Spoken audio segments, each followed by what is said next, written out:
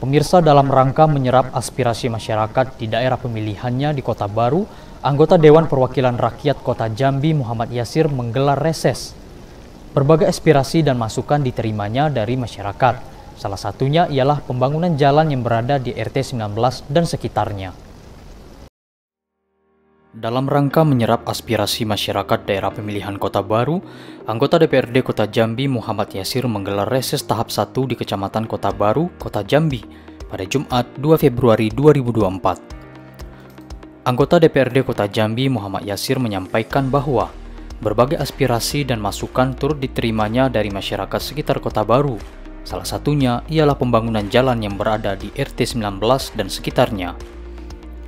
Ketua fraksi Partai Gerindra DPRD Kota Jambi mengatakan, aspirasi masyarakat ini akan diperjuangkan oleh dirinya dan akan dibahas dalam rapat paripurna DPRD Kota Jambi nantinya.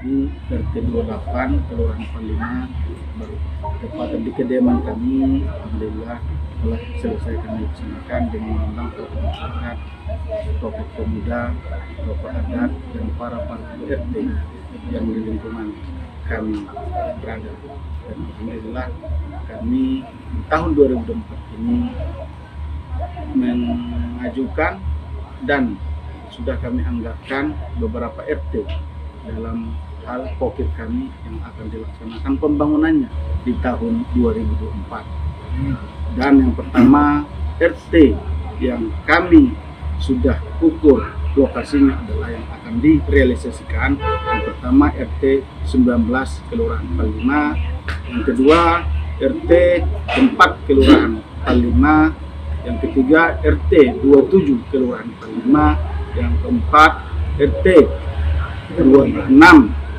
Kelurahan Palima dan RT 33 Kelurahan Palima itu yang khusus di Kelurahan Palima yang akan kami laksanakan proses pengen, pengerjaan melalui pocket kami di tahun 2004. Selanjutnya ada di Sukakarya dan di Sukakarya ada di RT 5 Sukakarya juga kami ajukan pembangunannya sudah anggarannya sudah ada sekitar 150 juta. Rata-rata RT yang hadir pada siang hari ini anggarannya 200 juta kami berikan untuk realisasi anggaran. Sementara itu, Ketua RT 19 Sunarto menyampaikan rasa terima kasihnya atas rencana pembangunan jalan yang berada di RT-nya dan sekitar Kecamatan Kota Baru. Kami sangat bersyukur sekali dan berterima kasih kepada Bapak Muhammad Yasir yang telah memperjuangkan dan menyerap aspirasi kami selama ini masyarakat kami yang jalan di tempat kami ini belum pernah tersentuh oleh pemerintah kota sudah dua kali periode pemerintahan. Pak Hasa mungkin juga belum anu. Yang kedua lagi mungkin pemerintahan pemerintahan sebelumnya juga anu.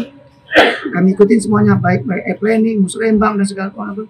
Ternyata dengan resesinya Pak Yasir ini alhamdulillah beliau dengan sangat sangatnya wakilnya dan beliau memperjuangkan wilayah kami ini untuk dibangun pengecoran aspal jalan yang menghubungkan 3 RT itu RT 19, 37 dan 35 dan jalan tersebut adalah jalan penghubung menuju ke sekolah SMA 6, SMA 15 dan menuju ke pom bensin.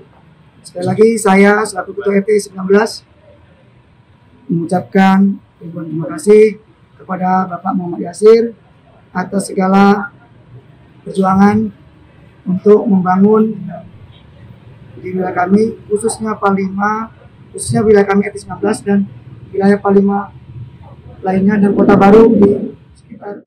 Sandi, Jack TV melaporkan.